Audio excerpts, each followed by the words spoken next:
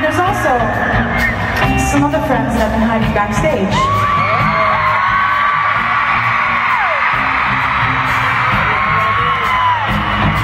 My friend Haley has this band called Paramore.